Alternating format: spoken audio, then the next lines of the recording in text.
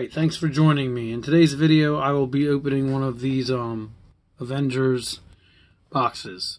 They, as far as I know, are only at Walgreens. Um, they're part of what, like, um, is there like Christmas clearance right now? If you can find them, they should be like 80% off, which this was like $4 and something after that.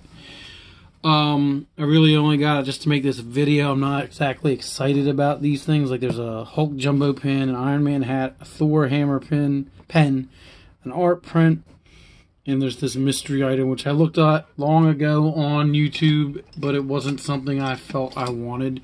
But for four dollars, I'll give it a shot. Um, you can also find like the Spider-Man themed Funkos for like two dollars. All right, so let's see what we got here.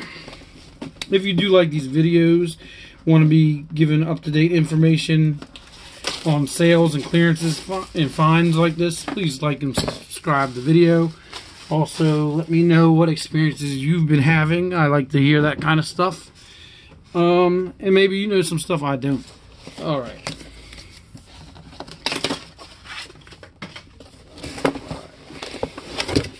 So first, we've got this Iron Man hat. I'm not a hat wearer and sometimes this stuff's meant for youth size.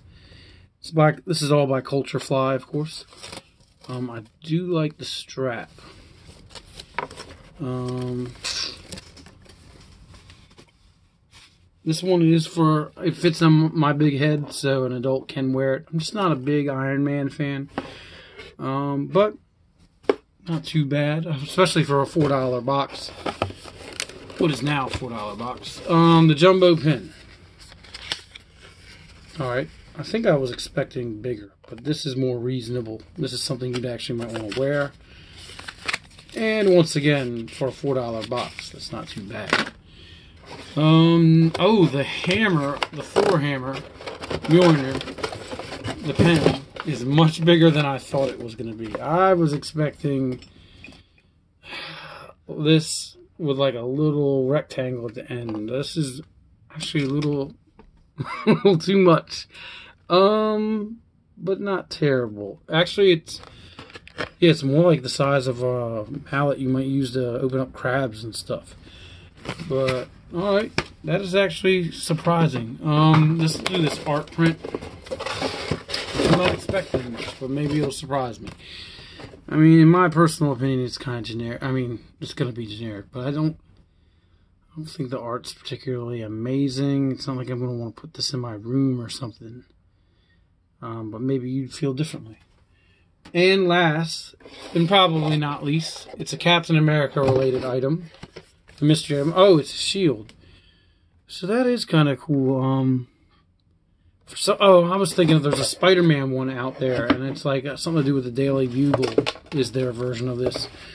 But um, actually, yeah, this is kind of cool. So I didn't even know what I was getting in this.